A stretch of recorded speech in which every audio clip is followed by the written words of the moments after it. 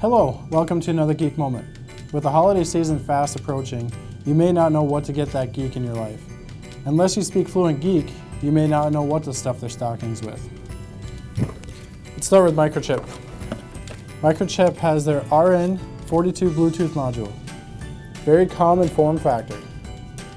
This is Bluetooth version 2.1 plus EDR class 2. One of the best features of this module is you can get to the command mode either via the UART or Bluetooth link. Let's see what other options we have.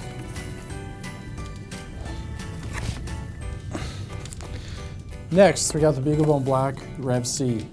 Single board, Android, or Linux computer. These things are flying off the shelf. If you don't have one, go to digikey.com, throw it in your cart, get it in someone's stocking. Don't wait until Christmas Eve on this one.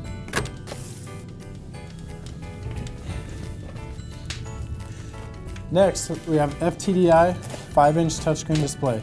It's got a built-in processor, so standalone user interface. The only thing you need is your I.O.s. Next, we're going to go down the LED line. Seoul Semiconductor, Acrich 2 module. This device runs off straight wall voltage, 110 to 120 volt, no external drivers needed. This can be used anywhere for anything. The opportunities are endless. This little device will fit into most small stockings. This is the Arduino Yun. It has built-in Linux. You can program the Arduino side via the Arduino IDE. You can program Linux side via Python. You can do USB hosting, built-in Ethernet port, Wi-Fi, and it's compatible with Arduino Shields.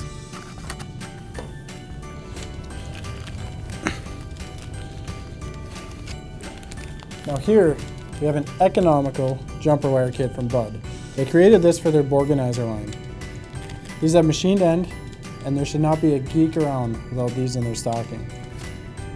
And they make excellent Christmas tree ornaments.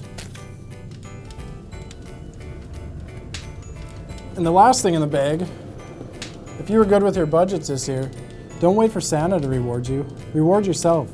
This 4-channel Teledyne LeCroy Wave Surfer 10 oscope is a must-have.